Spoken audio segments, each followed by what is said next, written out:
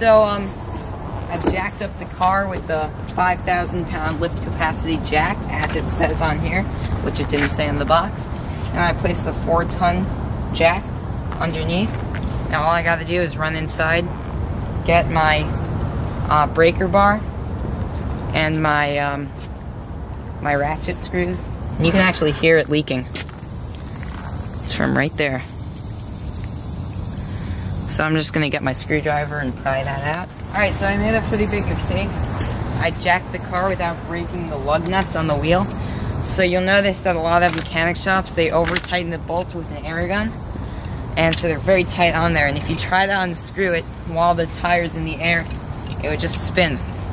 Now I have the car back on the ground. I'm gonna stick my breaker bar in there and break these nuts loose.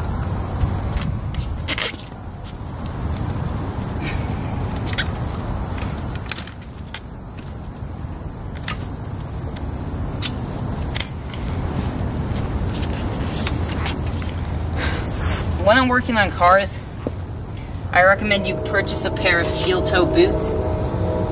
I got these at a local hardware store. They're a Milwaukee brand. I only wear Milwaukee. And just break that last one loose. Get everything in place again. Just drag this puppy right back up. Alright, so being an electric car, there's some pretty bad acids in that uh, battery. So Tesla has a mounting spot. They recommend you mount. Well, they don't recommend. They demand you only mount on the frame rails, which are right here. These steel parts right here. So you place the jack right there, and now we're gonna lower the car. Perfect and you just want to jack it up so that the jack is just touching the car as an extra means of safety. And now, let's unscrew these lugs. Probably take them off with my just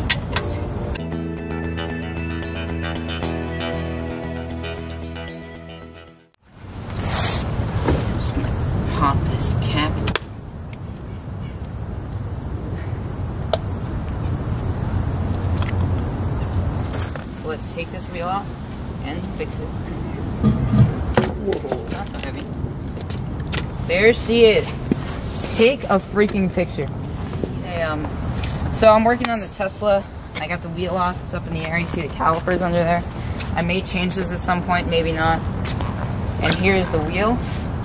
And I'm just gonna fix this screw that's stuck Okay. in there. Uh, yeah, this thing's not so tight. Be careful, watch your face. Use a pliers. What I'm doing right now is preparing my patch kit. I got these patches I bought at the AutoZone. They're like stuck to the packaging. Alright. It's coming out nice. Valuable.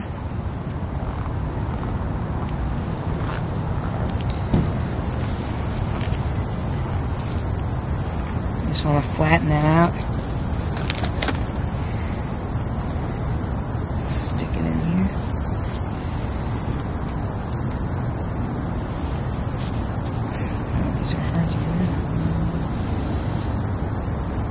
How am I going to get this in? Alright, so I got the plug inserted into this. It was a little bit tricky, but it's in. Now, I have my reamer and my rubber cement. So let's go ahead and uh, dismantle this bitch. So what you need to do is just poke this seal off. Good. Alright. So I'm just gonna have that ready.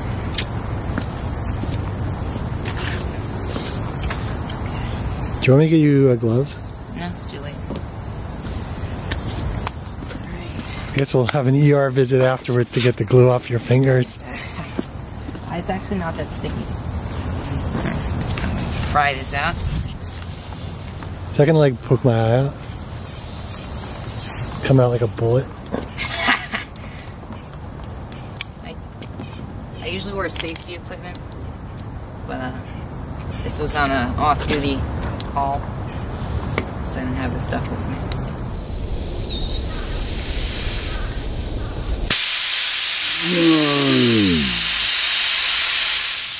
Now you want to get get the reamer in there. get that T-bone handle. And I got my rubber cement. I'm gonna apply that in there. Work that in, just work it. And uh, get me the rubber. Get me the other thing. Alright. Now we want to prepare this. We're going to coat this in rubber cement.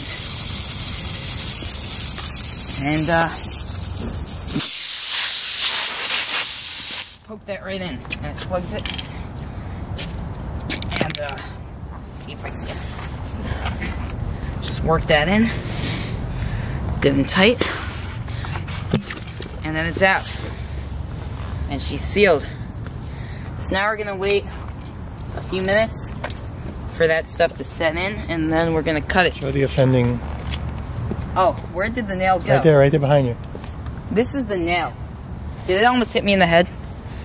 Yeah. Oh my God. How'd they get into a car? Wait, put them in. Now it's plugged. She's all good. So, so I got my paper towels. I'm just cleaning up the excess rubber cement that went on there. No bubble spray.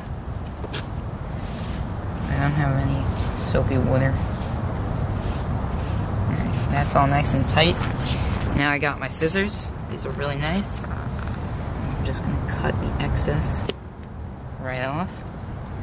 Then I'm gonna shave it down. You know what? Leave it. Leave it. Yeah, that's fine. Just want to get a little bit more. Perfect. Alright. So now it's time to remount the tire. What about? And I got the lugs. Just pull this off.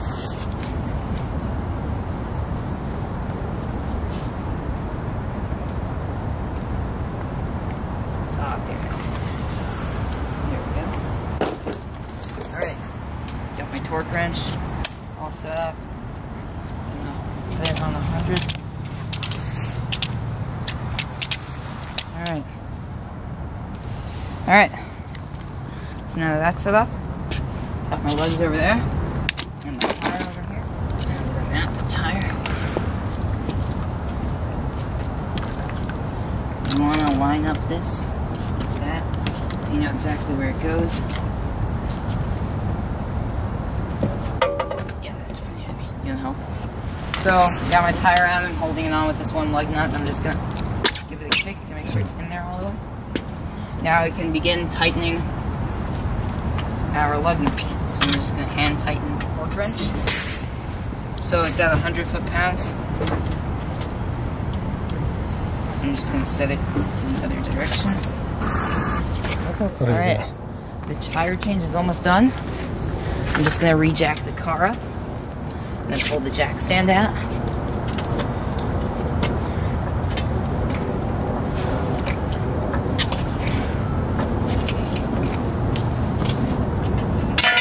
All right, jack stands out, and I'm gonna slowly lower the car. Good. Not slowly. It had a little speed to that. Alright, now I'm going to torque the bolts down. I got my torque wrench. These aren't even tight yet.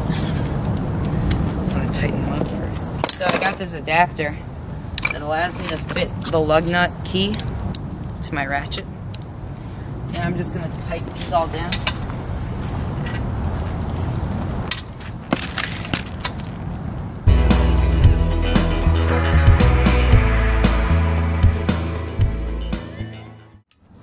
Now I'm going to take this off and put it on my torque wrench, which you saw me set to 100 foot-pounds.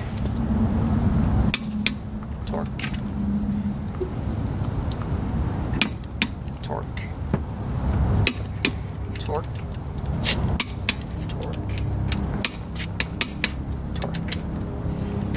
Alright. Now all that's left to do, slap on this T badge and your tire is fixed. That's how you fix a flat with a plug. Alright, so I got my little portable air compressor here that I bought at AutoZone. And we're gonna plug it in to the cigarette lighter on the Tesla. And then just turn on the compressor. And now it's pumping the tires.